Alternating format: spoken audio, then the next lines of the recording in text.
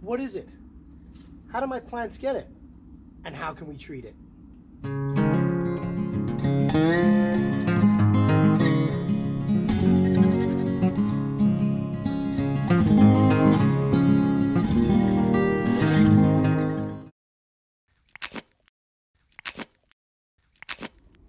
So powdery mildew is a very common disease in broadleaf garden plants. You'll see it pop up in your zucchinis, most of your squashes. You can even get it on lettuce and tomatoes and eggplants and peppers, um, most definitely cucumbers. It's pretty unsightly and it can take a plant down pretty fast, but it's not the end. So powdery mildew starts to occur when the nighttime temperatures drop and you start to get a lot of moisture on the leaves. And so it begins, you know, as these little white spots here. It's actually little fungal spores camping out on your leaves and it can even reach the stems. You know, this plant may look, you know, past a state of saving, but we can bring this plant back to life with a few simple steps. So the first thing I'm gonna to wanna to do, in the case of my zucchini plants here, is to take off all the diseased leaves. Basically go through this whole plant. There's actually two plants here. Take off all the brown leaves, take off all the leaves with any of the white spots on them, and really clean this up. Now when you do take off the leaves, don't simply throw them in your compost. You could be spreading this disease around to other plants in your garden.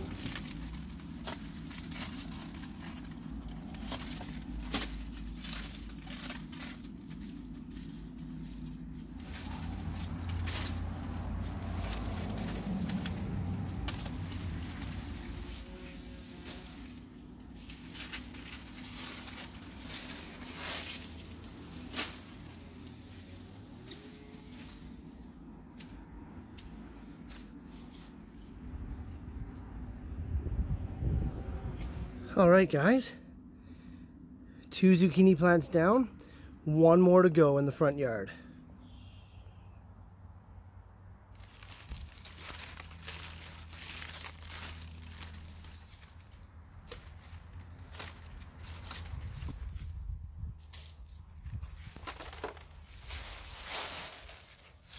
Pretty ruthless. Let's come back in a week and see how it bounces back. All right, so by cutting off all the diseased foliage of our zucchini plants, we're halfway there to eliminating our powdery mildew problem. So even though we've cleaned up our plants, you know, they look fantastic, it's all green foliage coming up, there's no way we've gotten rid of all those powdery mildew spores. They're still there. They're still on the good leaves, they're on the zucchini, they're on the squash, they're even on the mulch. And so the next rain comes, you know, it splashes more spores up onto the leaves and then away they go.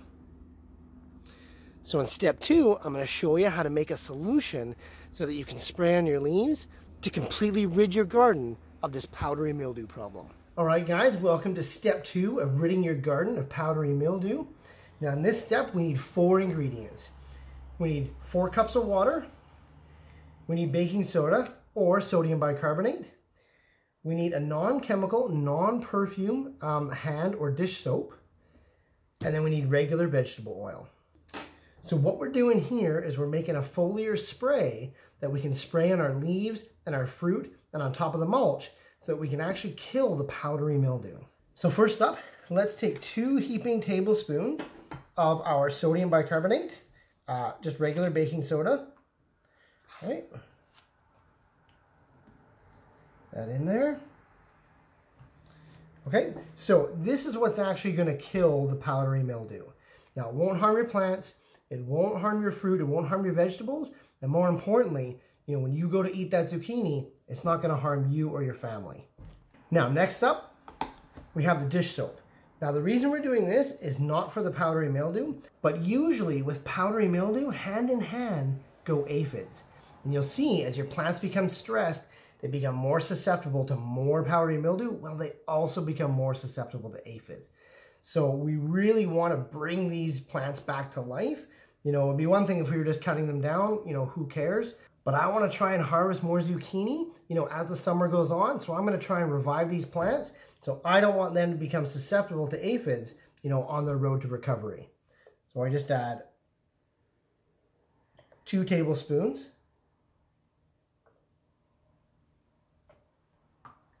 of the soap. Now, I can't stress enough, it's got to be a natural soap. You know, it can't have perfumes or chemicals in it um, because it will damage your leaves. So make sure of that. Okay, now our last ingredient is the vegetable oil. Now the vegetable oil, it doesn't really do anything towards the aphids or the powdery mildew. But what it does is it acts as a spreader sticker. So what's a spreader sticker?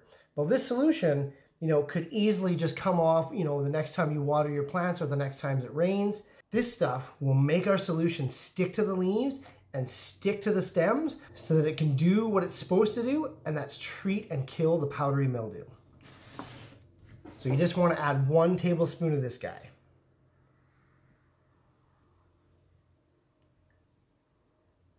Nope, a little bit more. Not going to hurt anything. Okay. So you just want to stir this really good.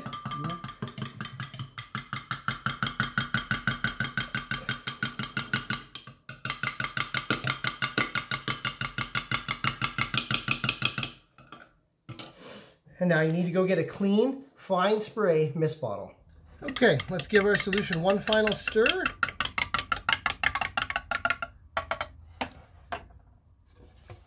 And let's get it into our clean spray bottle.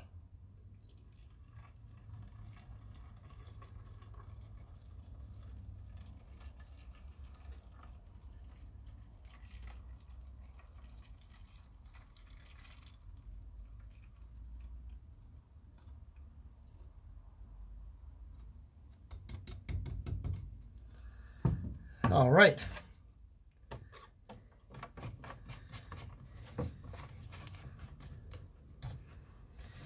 So set your nozzle to as fine a mist as possible. Now we're ready to go spray some plants and kill some powdery mildew.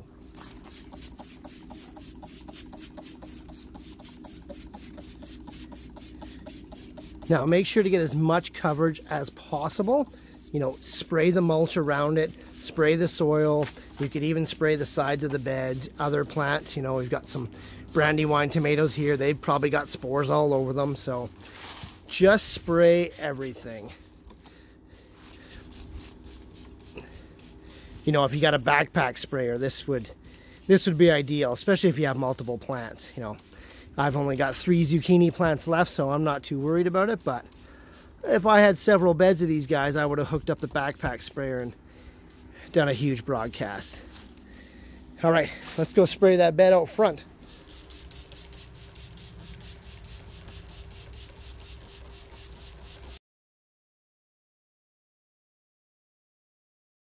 Okay guys, so it's been a little under three weeks. You can see how this zucchini plant, um, the one out front that I cut down to nothing, has totally come back to life. Now, there's still some damage on the leaves, um, quite likely I should have kept up with the spraying, so I'll give this guy another spray uh, after the video. Um, and I planted some spinach uh, in, in around it, uh, which needs some more water. But anyway, check this guy out. He's already got his zucchini there. There's another one coming out here and more female flowers, oh, as well as a male flower. It's interesting to see this time of year. And then look at that whirl of buds down there. So I'm probably to pull 10, 12 zucchinis off this that, you know, if you had saw that plant before, you would have just cut it down and thrown it away. So, you know, extending the life of this crop, you know, with a few minutes of pruning and then a few minutes of spraying with that powdery mildew solution. Unbelievable. So that's it, guys. Pretty simple stuff. Don't let powdery mildew get you down. It's not the end of your plant depending on the time of year and depending on what vegetable you're growing, oftentimes you can simply prune that plant, spray it with a solution, and bring that plant back to life and get some more production out of it before the fall. Now, a couple takeaways from the video. Make sure to completely prune the diseased plant of all damaged foliage that you can see. Once you do that, make sure to get rid of the foliage. Do not put it in your compost because you could simply spread the disease. Next, make up your solution of powdery mildew killer with three cups of water, two tablespoons of baking soda or sodium bicarbonate, two tablespoons of chemical-free non perfumed dish or hand soap, and then one tablespoon of vegetable oil. Mix it all together into a fine mist spray bottle and completely spray the area. spray any neighboring plants, spray the bed, and spray or wash any tools that you've been using to prune back those diseased plants. Now, when I was researching powdery mildew a few years ago, I actually found that aphids can actually be a vector for transferring the powdery mildew spores. So even if you don't have an aphid problem, I would still put that dish soap in there to make sure that you're killing any passing by aphids that could have those spores on them. So pretty simple stuff, guys. If you're able to do these few things throughout the year, your powdery mildew problems will be a thing of the past. As always, leave any questions or comments down below. You know, how are you getting rid of powdery mildew? Does your garden even get it? You know, it is a common blight on gardeners, so don't be scared.